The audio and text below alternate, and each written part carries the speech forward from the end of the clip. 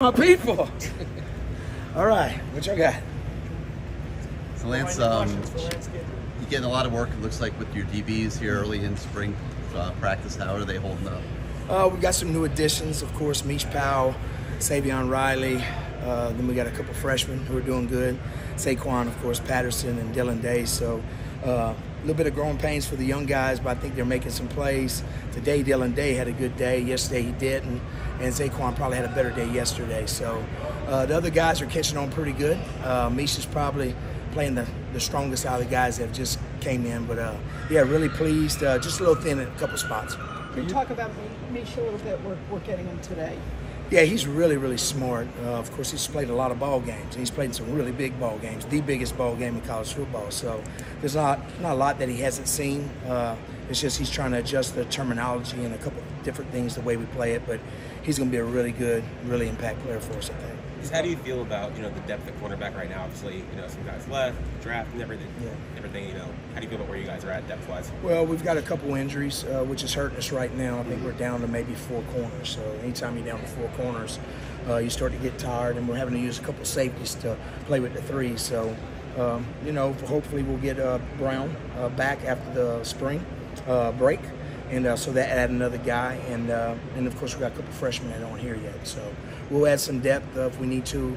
in this off season, if we need, so I feel good, but right now it's not good. We're little. And then you guys added, uh, you know, Chevis, Jackson uh, as a cornerback or defensive backs coach, yeah. cornerbacks coach. Um, obviously, you worked with him in the past. Yeah. You know, what was that process like when you guys brought him in? You know, how much did you advocate for him, and how was it like working with him again? Well, I had two uh, cornerback coaches while I was at Marshall. Uh, first guy left, and then we had a chance to hire whoever we wanted that was available. And kind of knew Chevis from when he played at LSU, who he'd been coached by, Corey Raymond. Nick Saban, Kirby Smart, uh, Bo Pelini, all those guys. So he came from a good pedigree, played in the NFL, and then I saw it firsthand. You know, our corners probably played the best at Marshall that year, my last year there, so I know what he can do, and uh, he's already made a difference with our corners here. So, uh, really good teacher, very motivated guy, and I think he'll do a good job recruiting. It seems like Jaden, Harris, and Savion are going first team from yeah. what we can see. How are they doing, and just what are they bringing to the Doing good. Uh, Harris is probably the most improved player, I think, on the defense right now. But he's got a lot of confidence. He's not sitting behind two older guys, Kam Kinchens, and uh, of course, uh, my big safety boundary guy, uh, Copley. James, James Williams. Sorry, James. Uh, so, uh, but he's played last year. You know, Harris has played. So right now he's playing the boundary safety, but I'm going to move him to some field safety as well and keep swapping him and Savion and just add those young guys in there as well. What is Savion doing? Savion's long. He's got good top end speed. Uh, right now, he's trying to learn everything. Uh, I think he's a little tired today. Uh, kind of got on him, but we're getting a little thin. But uh, he's smart, rangy, and he's a really good tackler. So that's what we saw when he played at Vanderbilt. Do you view strictly as a nickel, or can he also no, play? he's a field safety as well. So when we play uh, base, uh, where we bring the sandbacker in, he'll play the free safety. But when we go to nickel, he becomes the nickel. Are there any other guys that you could go from safety to corner or vice versa? Dylan Day's is one of the guys that's been playing out there who I think I have a chance, but he's he's young. Right now he's playing nickel free safety and corner. So he's playing a lot of reps at a lot of different positions. He's probably the only one inside that I think could do it. Maybe Markeith Williams. Yeah. Uh, he's been doing well too. Markeith's having a first good three days, so really excited about him as well. How about Jadais and his opportunity this spring? Saw the other mids come on during one-on-one. Yeah. How's? He's doing good. Uh, we, we've been we've been holding a little bit, so uh, we tried to put the oven mitts on to keep him from holding. But he's probably, you know, I've seen the most improvement at corner from the uh, from the fall. So uh, he's doing really well. Uh, him and Coach Jackson. Coach Jackson's kind of a tall corner when he played, so it kind of relates uh, to him. You know, so. Coach, uh, the energy's been really high. You know, how does it feel to be able to be back for a second year here and get being able to coach those guys again?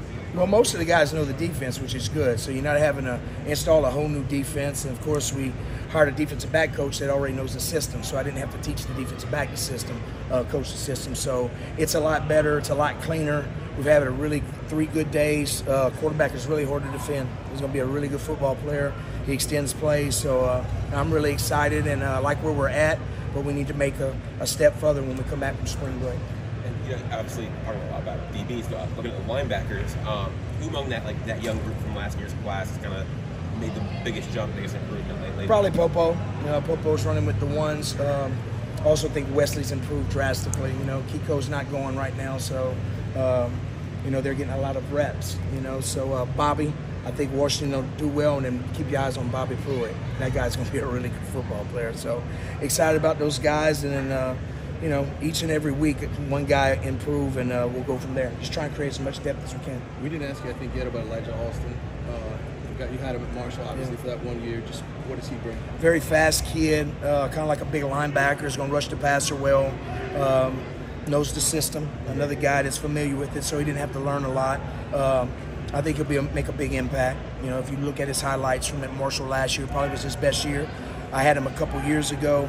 Uh, my last year there, he was kind of beat up a little bit. He had a bad ankle. The year before, he was a lot more productive, but last year he was off the charts. So, uh, yeah, I think he'll make a big impact as well. And you, you got two D tackles, obviously, in the portal. and You got a freshman D lineman, but the, just Yeah. the, the older guys. What We had a pick six today. CJ had a pick six, Really? so that was good. Marley uh, is doing really well. Marley's a little bit shorter, compact guy, but he's a, a big effort guy.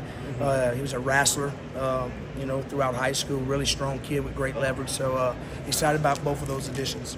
Uh, Coach, what, what area would you like to improve on the most, or what would make you most excited going into this season, generally? Uh, probably just making fewer mistakes schematically, um, gap fits, coverage stuff, um, quarterback scrambling and staying on our routes, you know, what we call plastering, which our quarterback's doing a good job of extending plays. So we're having to stay in coverage longer, which is good because it's going to happen. So, um, you know, the last game we didn't play the run well against Rutgers. We were a little short-handed, but I thought we played the run for the most part. But just not giving up a bunch of big runs and big plays. You got to stop them and just get the guys tackled and start the chains again, and you always got a chance. Coach, are I your don't want to assume anything, but you guys played the three-three-five. I think probably Mm-hmm. out of necessity because of injuries on the D line.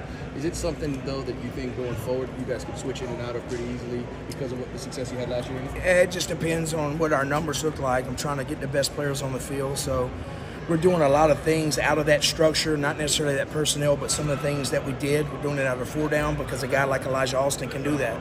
So a guy like Marquise Lightfoot can do that. So trying to stay as multiple as we can with the same personnel. That way the box don't know we're changing personnel and what's coming. What are your thoughts on Cam Ward so far in defending him? It's tough. He's going to be a really good football player. He's very poised.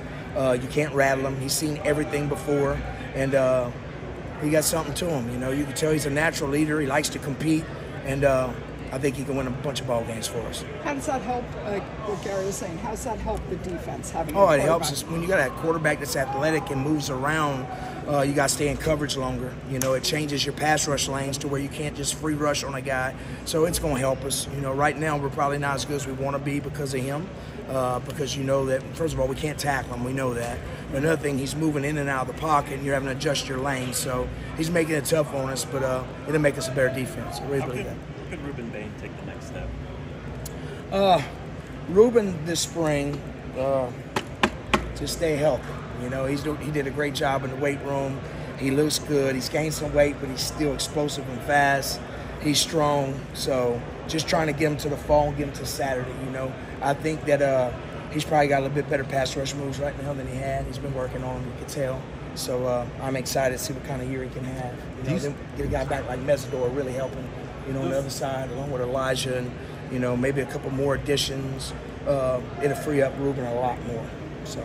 Do you see him staying at defensive end, or will he ultimately become a defensive tackle? I, he'll stay at defensive end for us. I mean, I won't move him because he brings a different dynamic there. Uh, depends who drafts him. You know, if he gets drafted, he goes to a three-four system. I can see him playing a four. Uh, he can play outside, but I think his, you know, he'll end up being inside on that level. I think he'll end up being a three tech. If you ask me, I'm not saying he can't play outside, but if you ask me what I think he is, you know, truthfully, I think he's probably going to be a great three tech in the NFL. I know, So- I know Rueben's obviously part of that freshman class from a year ago, but is there another guy besides him that's really, you think, taking a big step from year one to year two? Uh, nah, it's too early to tell, really. I think a couple of the freshmen, true freshmen, got a chance to make an impact. I don't know if anybody can make an impact like Rueben did. Uh, he's pretty special.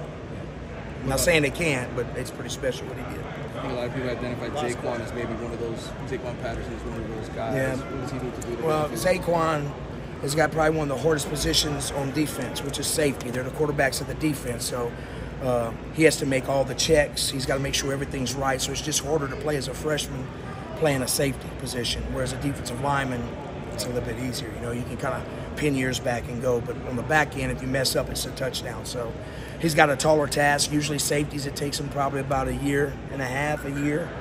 You know, get something underneath him. But uh, we're going to try and speed him up, see what he can do. But uh, he definitely has the skill sets to be a difference maker, no doubt. Great. Thank you, Coach.